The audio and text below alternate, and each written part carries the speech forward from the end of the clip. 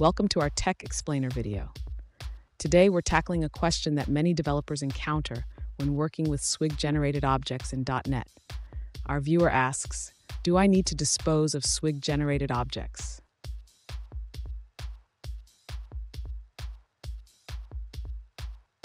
Let's break down the question.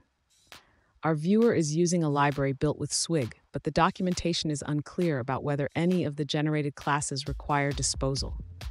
They've noticed discussions online about disposing of child elements, yet the sample projects don't demonstrate any disposal practices.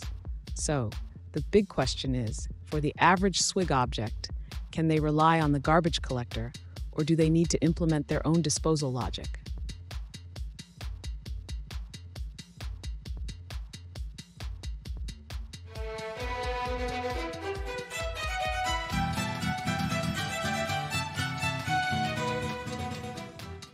Welcome to another tech video. Today we're going to be going through your question, answering it, and hopefully finding that solution for you. Guys, remember to stay a little bit crazy, like me, and hopefully get to that resolution. Now, let's continue on to that video. When using Swig-generated objects in .NET, it's important to understand how memory management works.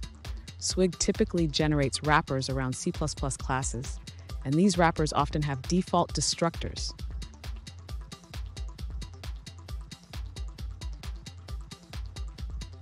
In most cases, these destructors will handle the cleanup of the underlying C++ objects. This means that you may not need to explicitly dispose of these objects, as the garbage collector in .NET can manage them.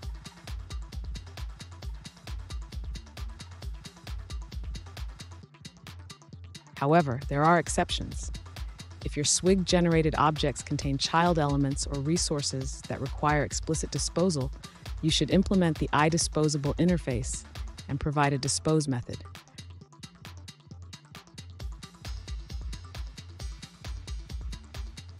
To summarize, for the average Swig object, you can generally rely on the garbage collector, but always check the documentation and be cautious with complex object hierarchies.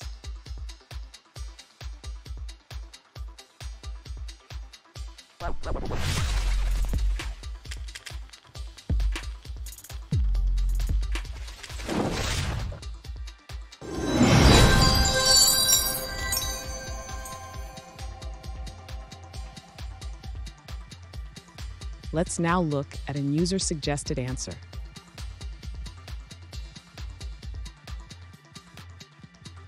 In most cases, you don't need to manually dispose of Swig-generated objects as they have proper finalizers.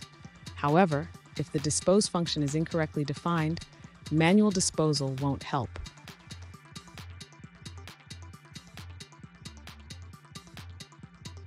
There are situations where manual disposal can be useful, especially when dealing with lists and their items.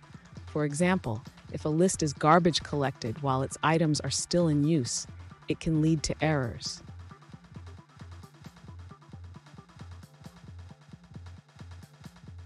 To prevent issues, you can use gc.keepalive to keep the list alive or implement the iDisposable pattern for deterministic disposal.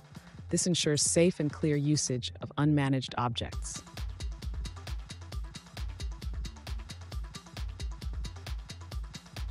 So while manual disposal isn't strictly necessary, it can enhance safety and clarity when working with unmanaged objects.